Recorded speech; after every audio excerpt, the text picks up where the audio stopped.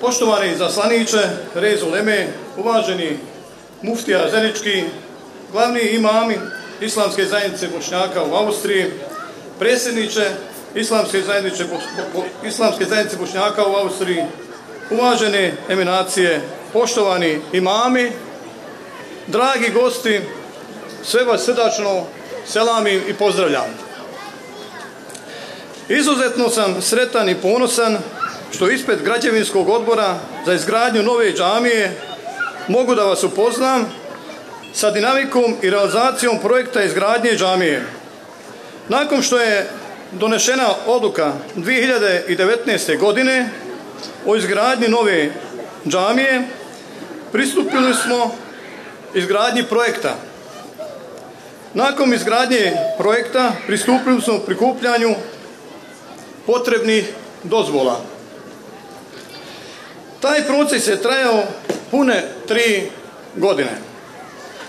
Nakon što smo 2022. godine dobili potrebne dozvole, u septembru iste godine postavljamo kamen, kamen temeljac i zvanično smo počeli sa izgradnjom naše nove džamije. Dinamika izgradnje je tekla po planu, ali vrlo često i iznad naših očekivanja. Cijeli džemat je bio uključen u, u proces izgradnje džamije.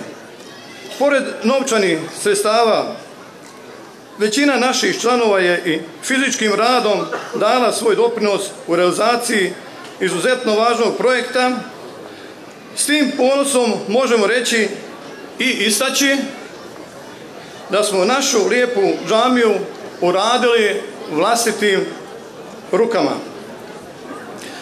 U toku same gradnje smo kupili, dobro je poznato, dodatnu jednu parcelu od površine od cirka 400 kvadrata.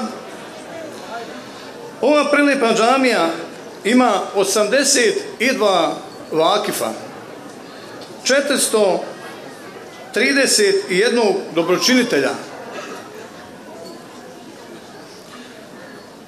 U njezinu izgradnju smo uložili 768.000 i 257.000 eura. Pored glavnog molitnog prostora, površine 235 kvadrata, tu imamo Bektevsku učionicu, restoran, biru, abdestanu, mokri čvorovi, lift, a ukupna površina džamije iznosi 500 kvadrata. Također tu je i prelijepi parking, kao što vidite. Ja posebno želim da istaknem veliku podršku u radu, organizaciji, u planiranju našeg u planiranju našeg imama Abdullaha koji je bio za svaku akciju koju smo sprovodili u našem džematu. Iz tog razloga građevinski odbor je podnio odluku da sve što je uradio i što će, ako voda uraditi, da mu uručimo jedan poklon u znak pažnje i iskažemo svoju zahvalnost za sve što je učinio i uradio. Pozivam našeg Avla Efendiju da se pridruži, da mu uručimo prikladan poklon.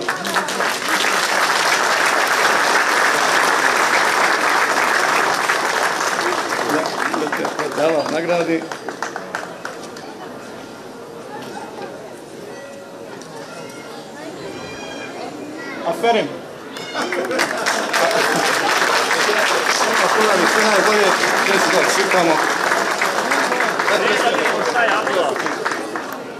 Malo. Kreni da vidimo šta je. Ovo je 50.